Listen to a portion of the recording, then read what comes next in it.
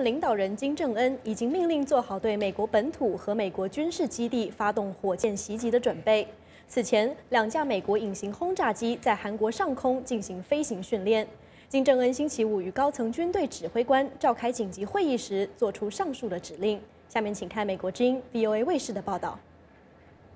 星期五，数千名朝鲜人聚集在金日成广场，对其领导人表示支持。朝鲜军方的一名发言人在这个大型集会上说：“一旦美国采取军事行动，他们会打击美方的 B 五十二战略轰炸机和核动力潜艇。”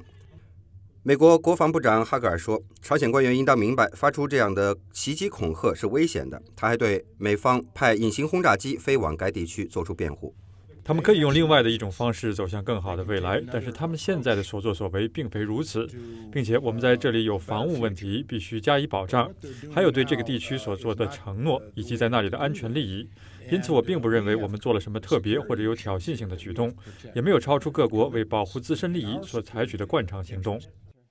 美军上将马丁·登普西说：“美军加强在朝鲜半岛的备战能力，并不是新近制定的策略。”过去两年来，我们一直在努力制定一个反挑衅方案，因为韩国政府已经明确表示不愿意再受到挑衅。